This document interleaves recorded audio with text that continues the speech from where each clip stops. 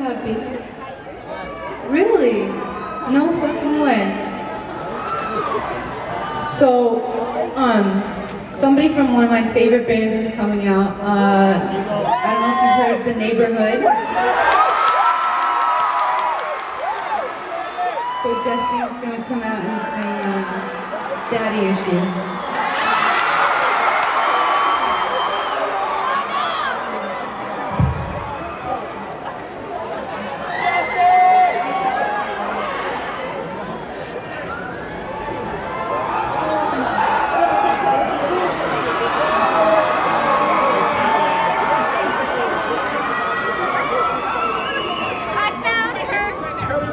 Yo. Who's got daddy issues?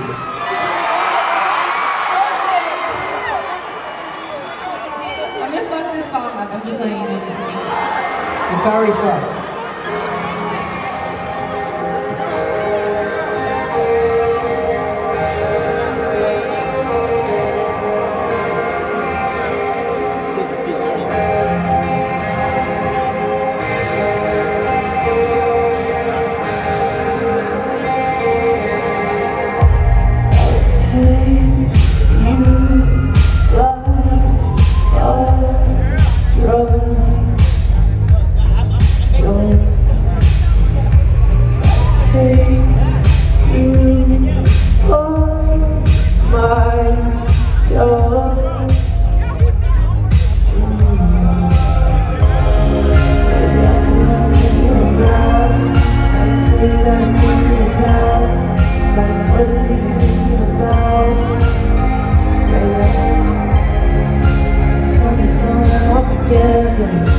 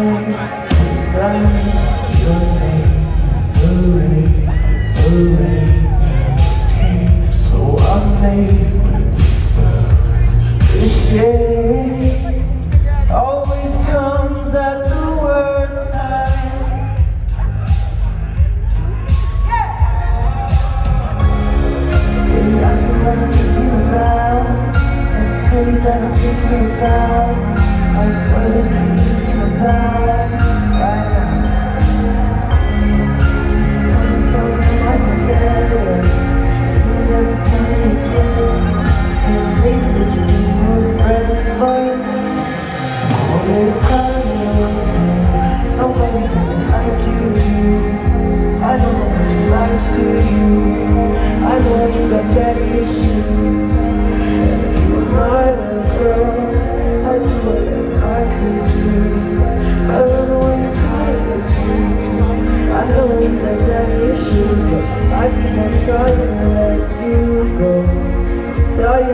you know how